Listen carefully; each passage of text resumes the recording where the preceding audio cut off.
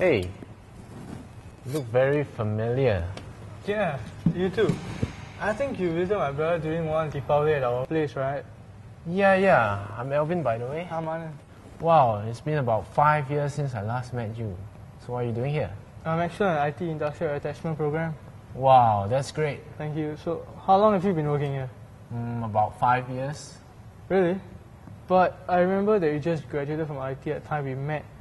And you mentioned that you wanted to go for a diploma, right? What happened? Well, I saw an opportunity and decided to work first. Hey, tell you what, it's almost break time. And since you're new here, let me treat you to a drink. Okay. I'll tell you what happened. Sounds good. When I left ITE five years ago, I very much wanted to do my diploma program immediately. But then I was undecided which job suits me better. Is it engineering or is it sales?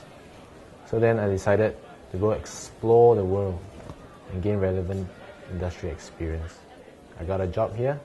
I've been working ever since. Hmm. You know what? I really enjoy working in this company. But I am not so sure if I should go for a diploma right after graduation or come out to work first instead. Why not? Look at me.